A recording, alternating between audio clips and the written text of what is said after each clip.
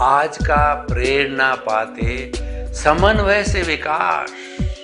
इसका अर्थ यह हुआ कि जहाँ सामंजस्य है पति पत्नी के बीच के अंदर, भाई भाई के बीच के अंदर और पिता पुत्र के बीच के अंदर, एक देश का दूसरे देश के साथ में, एक गाँव का दूसरे गाँव के साथ में, एक परिवार का दूसरे परिवार के साथ में, एक समाज का दूसरे के साथ में, जहाँ पर समन्वय है, सामंजस्य है इक्विलिब्रियम है वहाँ विकास है। क्योंकि जहाँ पर दुराव होता है, घर में भी देखिए जहाँ पति पत्नी लड़ते रहते हैं, उनका जीवन तो खराब होता है, उनके बच्चों का जीवन अवश्य खराब होता है।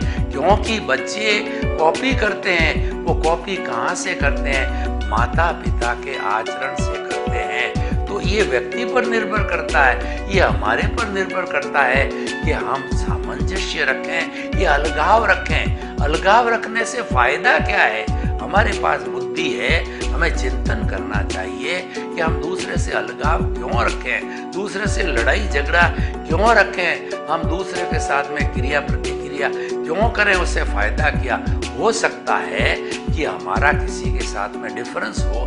ये बात हो सकती है, क्योंकि मुंडे मुंडे मतिर भिन्ना मतभेद होना जो है, हो सकता है ये।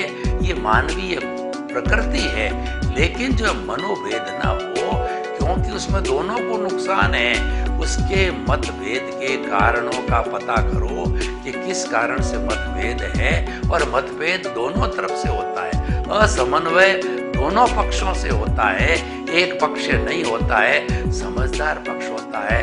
उसका कारण करके और दूसरे के साथ बातचीत डायलॉग करके, उसका निवारण करके असमन्वय स्थिति को समन्वय में बदल देता है।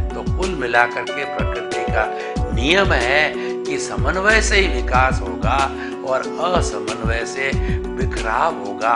हमारा पृथ्वी में जितना होता है वह असमन्वय से